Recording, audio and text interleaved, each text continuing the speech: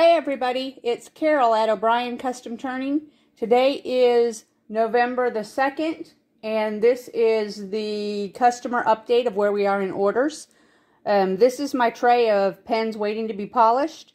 The bottom three are for August the 23rd and then the next stack is August 28th and then the last two are for August the 31st. So I have just a very few left to finish for the month of August.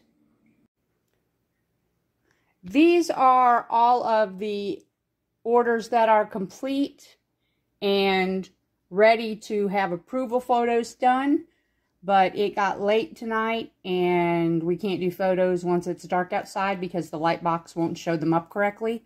All of the ones over on this side are for Facebook orders and then this stack are Etsy orders.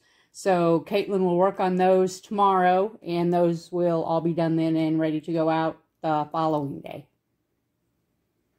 This is a stack of what's remaining for the special projects. Everything is done for August. We're up to just the ones for September. Now we're going to be taking a few days off to get the rest of the uh, diamond painting pens for this week finished and then also to take our normal weekly days off and get some yard work and things done.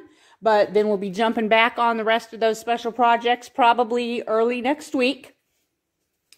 This is what's left for Etsy orders to finish out this week.